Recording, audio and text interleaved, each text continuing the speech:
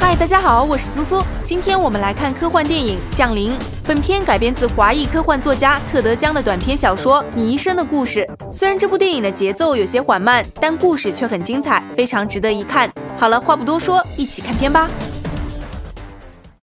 路易斯是一位顶级的语言学博士，可这天他的课上却没有几个学生。打开电视后，他才发现有一个不明飞行物突然出现在门大拿。紧接着，学校便拉起了防空警报，所有师生提前放学。空军战机也在上空疾驰而过。回到家后，路易斯继续关注着事态的动向。他也从新闻中得知，共有十二艘外星飞船降临地球。而就在第二天，一位自称韦伯上校的军方人士突然找到了路易斯，因为路易斯两年前曾为情报处做过出色的翻译，所以上校给他播放了一段外星人的录音，希望他能翻译出其中的语言。路易斯对录音内容感到吃惊，但他还是告诉上校，想要翻译外星语言，就要让他前往现场进行交流。于是就在当晚，上校便让路易斯立刻收拾行李，随他们一同前往门大拿。在军方的飞机上，路易斯见到了物理学家伊恩，他们将一同前往外星飞船中执行任务。经过短暂的飞行，路易斯终于在一片晨雾形成的海啸云中看到了这个被军方称作贝壳的巨大外星飞船。它犹如一座黑色石碑，静静地悬浮在空中。而路易斯与伊恩在经过了一系列的盘问与体检后，也随即穿上防护服，乘坐专车抵达了外星飞船的下方。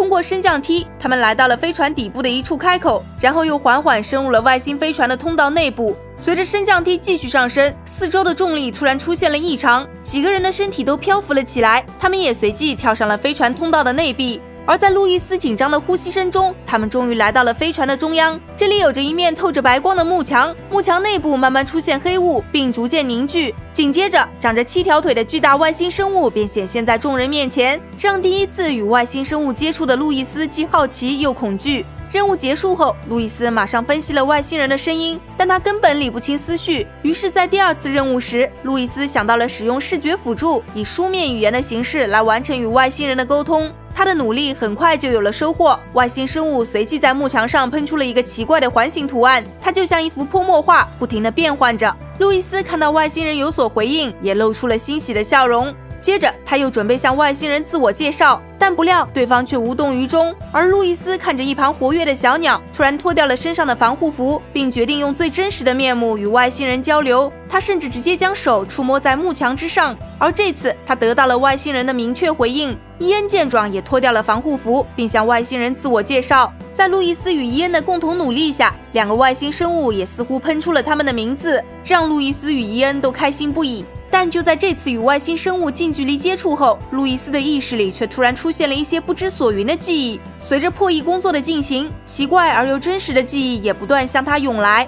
与此同时，世界各地的外星飞船仍然悬浮在原地。这些飞船不产生垃圾，不排出气体，也不向外辐射。没人知道这些飞船为什么会选择降落在那些地点。但好在路易斯的破译工作正有条不紊地进行着。他们发现外星人的语言并不受时间限制，是一种不分前后的非线性文字。外星生物可以在两秒钟内写出一个极其复杂的句子，而人类则需要一个月才能做出简单的回复。另一边，因为外星人的照片被人偷偷公布，世界各地都出现了极端情况，网络媒体更是危言耸听，叫嚣着要与外星人开战。这些观念甚至开始影响一些正在执行任务的士兵。而在工作的路易斯也越发的感觉自己有些异常，越来越多未知的记忆出现在他的脑海里。之后，伊恩与路易斯聊天时提起了萨皮尔沃夫理论，大概的意思就是说，一个人的语言习惯决定了他的思维方式。同样，新的语言也能重构一个人的大脑。这样的谈话让他陷入了沉思。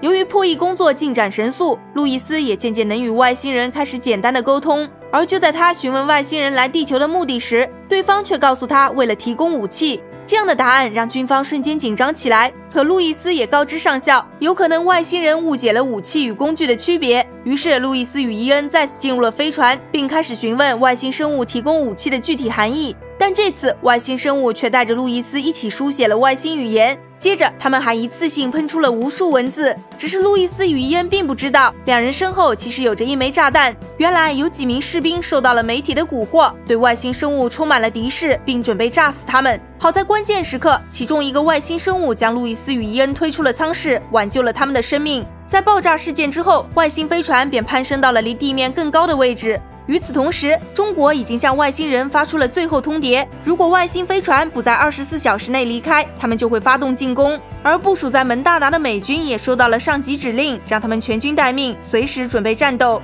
另一边，路易斯与伊恩面对满屏的外星语言，丝毫没有头绪。但路易斯却再次陷入了未知的记忆中。在那段记忆里，他的女儿向他询问双方共赢更专业的术语，可他却并不知道。而这时，路易斯突然醒来，他惊喜地发现伊恩已经有了重大突破。原来，他们所获取的只是完整信息的十二分之一。外星人的意图其实是想让人类互相合作，破解这些信息，以达到共赢。伊恩告诉军方，更专业一点的术语就叫非零和博弈。而这却突然触发了路易斯的记忆，他也顺利将这个答案告诉了女儿。接着，未知的记忆继续浮现，一个小飞行舱，一段迷雾中的经历。路易斯似乎明白了什么，他随即走了出去。而这时，高空中的飞船真的发射了一个小飞行舱，路易斯步入其中，小飞行舱便缓缓升空，并将他带到了幕墙之内。路易斯也终于见到了巨大外星生物的全貌。简单的询问过后，路易斯得知，另一个外星生物为了救他们，现在已经奄奄一息。而对于路易斯想要寻求的帮助，外星人则告诉他，路易斯自己就有武器，使用武器便能化解危机。这使得路易斯更加费解，他又急切地询问外星人来地球的目的。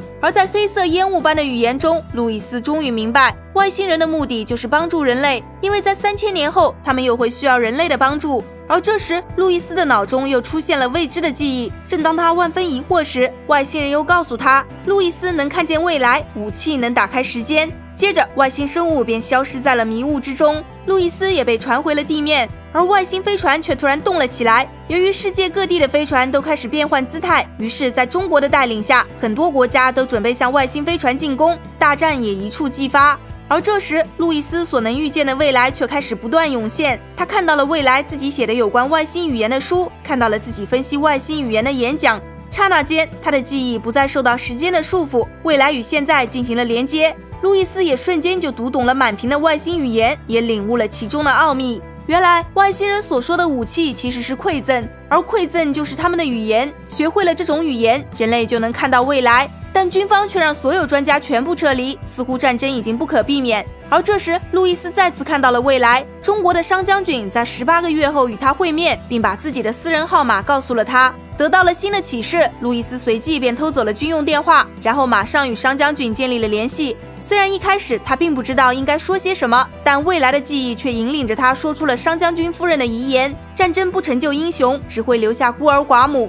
最终，商将军被路易斯打动，立刻解除了戒备状态。很多国家也紧随中国的脚步，开始分享他们所获取的外星语言，并准备通力合作，将它拼凑成一个整体。而此时，全球各地的外星飞船也再次启动，然后慢慢消失在了云雾之中。而路易斯也逐渐看到了未来的一切。他与伊恩因为这次经历走到了一起，还有了他们的孩子。路易斯为女儿起名为汉娜，这是一个如同外星语言的名字，是一个非线性的回环。但同时，路易斯也预见到了他的女儿将会患上绝症，预见到了伊恩因为无法承受而选择了离开。可即便如此，路易斯依然选择面对这一切，因为他明白，如果他的一生都是注定的，那他所能做的就是接受这不可阻挡的命运，并拥抱这一路上所有的欢喜与悲忧。